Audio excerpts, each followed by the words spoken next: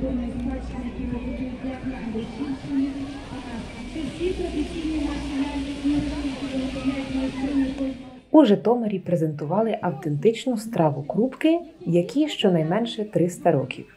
Її готують лише в селі Мостове Андрушівської територіальної громади на півдні області. У липні традицію приготування страви крупки внесли до національного переліку елементів нематеріальної культурної спадщини України. Для страви потрібні чарка пшона, 10 яєць, які збивають до однорідної консистенції, та приблизно 2 кг борошна. Пшоно висипають у дерев'яні ночви, трішки скроплюють яйцем та посипають борошном, викачуючи крупинки в один бік. Цей процес займає близько 2 годин. Далі варять бульйон із домашньої курки та готують в ньому крупки, що вимагає ще не менше 4 годин.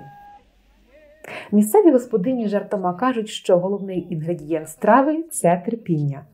Крупки вони заготовляють і заздалегідь, висушують, а потім готують, коли потрібно. Традиційно страву готують на обрядові свята хрестини, родини, весілля. Це така страва, яку презентують сьогодні. Бачите, дівчата качають. Качають у ночках дерев'яних. Така стародавня страва куртки називається.